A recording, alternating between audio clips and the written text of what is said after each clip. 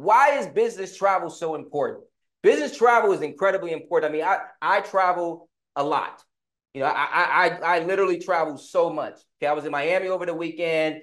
Friday, I'm going to Portugal. I come back from Portugal for one day. I'm going to Dallas. I flee from Dallas. I go to Utah. Then I come back to Dallas. Okay. Here is why I love business travel.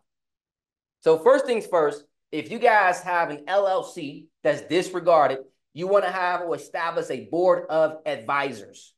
Okay. You want to establish a board of advisors. If you're an S Corp, you should have a board of directors. Okay. And the reason why these this this board is so important is because this board gives you the opportunity to unlock a lot of tax deductions. Okay. So I have my significant other as a board member of Magnolia. Okay. Now, a board member does not mean that she's in the business, right? She's not an employee of the business. She has no ownership of the business, but she's a board member. She's somebody that I go to where I can talk about business and she gives me advice. She consults me and the company on how we can grow and how we can scale. So guess what?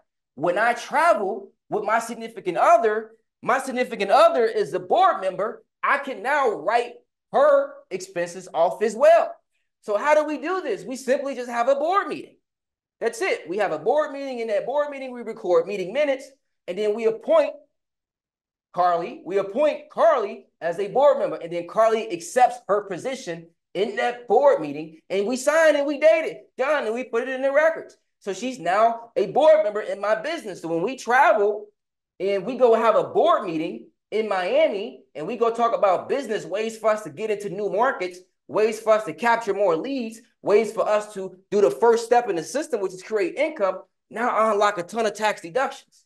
Now, what do they say? They say, hey, you can travel, okay? But what is the, the, the specific use case of that travel?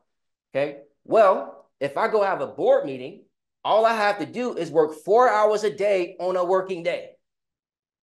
Four hours a day on a working day. So if I travel to Miami on a Thursday, everything en route to Miami is tax deductible.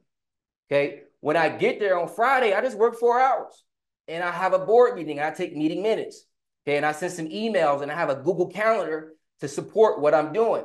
And I jot down what time we started, what time we ended, and who was all there. Friday, Saturday, Sunday, I don't have to do anything. It's, a, it's not a working day. It's the weekend. So on, on Saturday and Sunday, when we go to 11, when we go to LIV, right, or when we go to certain places, now we're we're having team, we're, building team camaraderie. Okay because we're out there and we're learning more about each other and we're building a team. And on Monday, I work another four hours and I fly out on Tuesday. My, my whole weekend was tax deductible. So I love business travel. When I always recommend that you guys should travel at least once a quarter. Okay. You should travel at least once a quarter. And the reason why a lot of business owners have big or major or significant or huge, massive tax bills is because they hold on to the money too much.